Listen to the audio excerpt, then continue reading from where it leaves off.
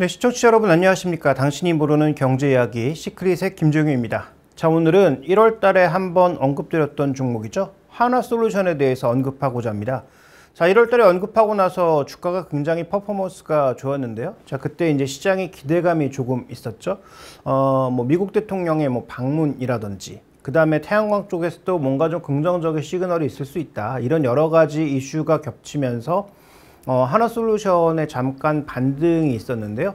뭐 그렇지만 시장이 하락하는 것과 맞물려 또 태양광에 관련된 시황들이 여전히 실망스럽고 1분기에 또 실적이 여전히 뭐 6분기 연속의 적자를 나타내면서 어, 굉장히 부진한 양상을 보였었습니다.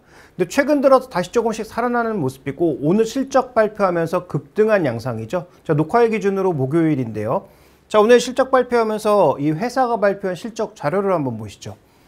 어, 일단 매출도 증가했습니다. 그래서 매출을 보니까 신재생이 가장 크게 증가했고 케미칼, 첨단 소재, 뭐 갤러리아까지 증가하는 모습. 전반적으로 매출은 다 증가하는 모습입니다. 뭐 물가가 올라가면서 어, 외형 자체는 증가할 수 있죠. 그런데 시장이 가장 놀란 부분, 적자를 줄이는 것만으로도 행복하다라고 했던 이 케미칼 부분의 이익이 어, 무려 1,400억이나 증가하는 그런 모습을 보여주면서 1분기보다 2분기의 영업이익이 무려 70%나 증가하는데 가장 크게 기여한 것이 바로 이 태양광이었다라는 게 놀라울 다름인 거죠.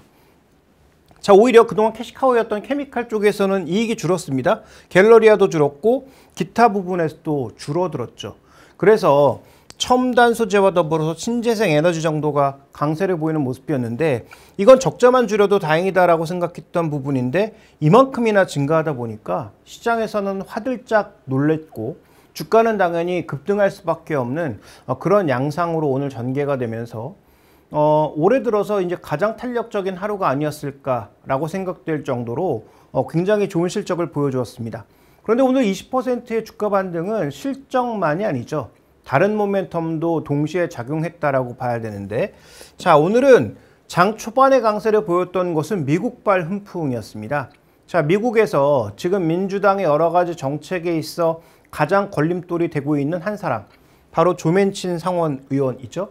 자 이분이 그동안 뭐 인프라 법안 뭐 여러 가지 법안들에 다 어깃장을 놓으면서 어, 바이든 대통령의 강력한 여러 가지 경기 부양 정책들이 계속 태클이 걸리고 있는 양상인데 자, 오늘 새벽에 나온 뉴스에 의하면 조맨친 의원이 이 인프라 법안 중에서 신재생과 관련된 부분에 대해서 일정 부분 어, 긍정적인 뉘앙스를 밝히며 어, 한두 명의 부족으로 인해서 상원을 통과하지 못했던 어, 이 관련 법안이 8월 내에 통과할 수 있지 않을까라는 기대감을 굉장히 높여주고 있습니다.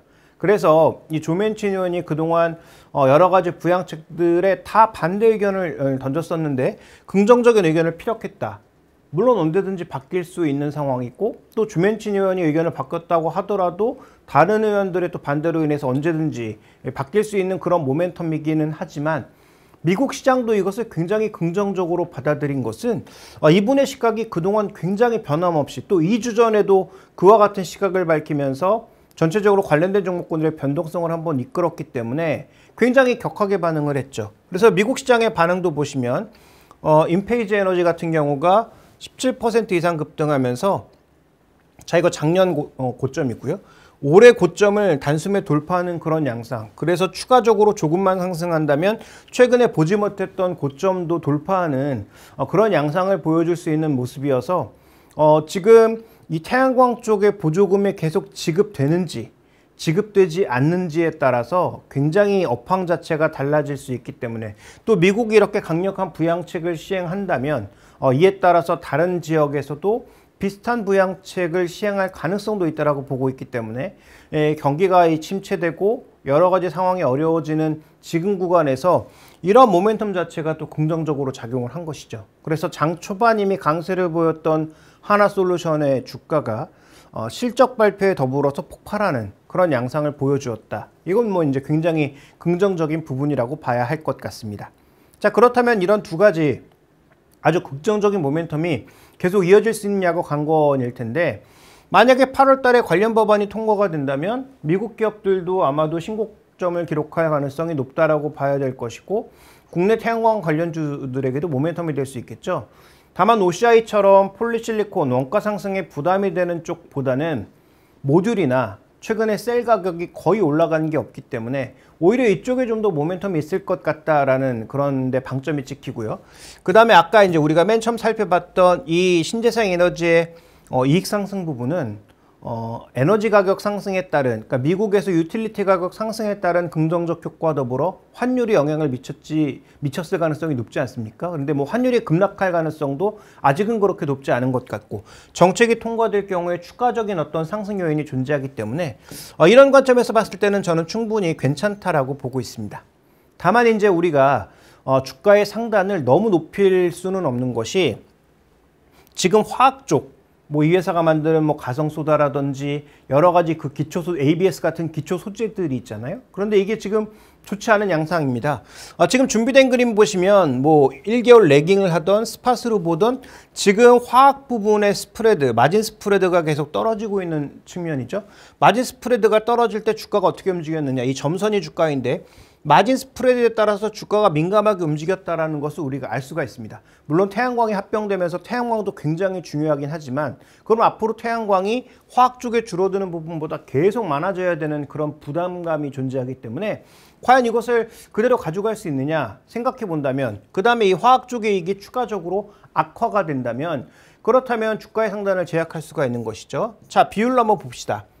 자, 이익 쪽에서 이번에 2,700억 정도의 이익이 났는데 그 중에 지금 절반 정도로 신재생이 차지하는 것이고 어, 그 다음에 560억 정도를 차지했던 이 케미칼 쪽의 전반적인 매출 그 다음에 케미칼 쪽의 전반적인 이익 자체가 지난 분기보다는 꽤 많이 줄어든 상황에서 더 줄어든다면 어, 다음 분기에도 과연 이 정도의 추가 퍼포먼스를 더 보여줄 수 있느냐? 그러니까 이 정도 이제 증분이 없는 거죠. 여기서 시작하는 거니까. 그래서 다음 분기에도 이 정도 수준을 과연 유지할 수 있느냐가 관건이기 때문에 만약에 화학 쪽의 이익이 둔화되는 모습을 지속적으로 보여준다면 이것은 주가를 끌어내려는 요인이 되기보다는 주가의 상단을 제약할 요인이 될 가능성이 높다. 왜냐하면 지금 시장이 하나솔루션을 바라보는 시각은 어, 기존의 이 chemical 부분의 이익도 중요하지만 cash cow라는 측면에서 중요하지만 태양광 쪽에서 얼마나 빠르게 돌아서고 이쪽의 모멘텀이 얼마나 붙느냐를 더 중요하게 보고 있다.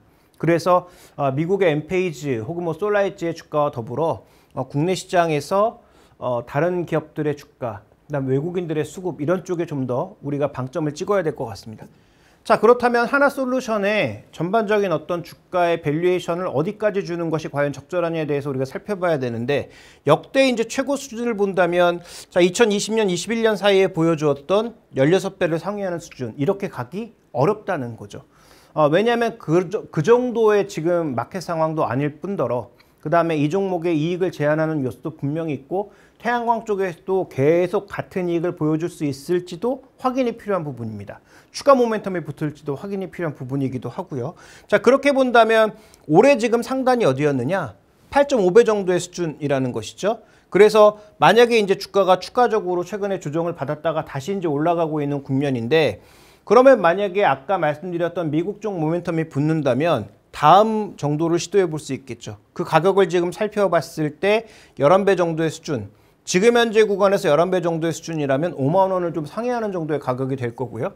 자, PB 측면도 마찬가지입니다. 지금 뭐 PE 측면에서는 말씀드렸던 것처럼 한 11배 정도 수준까지라면 지금 PB도 크게 다르지 않을 것으로 보이는데요. 자, 2021년도에 보여줬던 뭐 1.3배 수준까지 강력하게 가기 어렵다면 그렇다면 그 다음 밸류의 상단이라고 볼 수 있는 한 배 정도의 수준까지 우리가 예상해 볼 수가 있는데 그 가격이 지금 PE 11배와 PB 한 배가 거의 일치하는 수준을 보여주고 있다. 그렇다면 우리가 합리적으로 예상해 봤을 때 일단은 5만 원 정도까지의 반등은 우리가 합리적으로 한번 기대해 볼 수 있지 않겠느냐라고 판단하고 있고요. 당연히 8월 달에 나올 미국 쪽 이슈, 그 다음에 엔페이즈 에너지, 뭐 솔라엣지, 그 다음에 어, FSLR 에, 이런 종목군들의 전반적인 퍼스트 솔라 같은 그런 종목군들의 반등의 한계가 어디까지 나타나는지도 확인이 좀 필요한 부분이고요. OCI와는 다릅니다. 그래서 1월 달에 말씀드렸 을 때도 OCI보다는 어, 이쪽이 낫다라고 분명히 언급드렸는데요. 이번에도 마찬가지. 태양광 시장이 전반적으로 개선된다면 여전히 OCI보다는 하나솔루션의 무게를 두고 바라보시는 것이 낫다라고 보고 있고 1차적인 목표는 PB 한 배. 그리고 P 측면에서는 현재 기대하고 있는 이익의 11배 정도의 수준. 그런데 아마 이익이 달라졌으니까 2분기가 생각보다 굉장히 강한 이익이 나왔기 때문에 어, 이 5만 원보다는 좀더 높은 가격까지도 기대해 볼 수 있는 그런 상황이 아닐까 이렇게 이해하고 있습니다. 그래서 지금부터 하나 솔루션 미국 그 주요 관련 기업들의 주가와 아, 미국의 모멘텀이 8월 내에 가시화될 수 있는지를 잘 주목해 보시기 바랍니다. 지금까지 저는 시크릿의 김종희였습니다.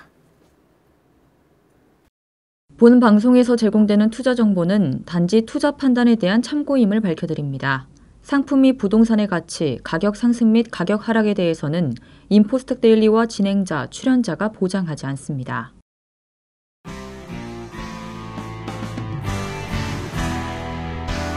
한국형 블룸버그, 인포스탁 미디어 그룹. 기업을 봅니다. 인포스탁 데일리.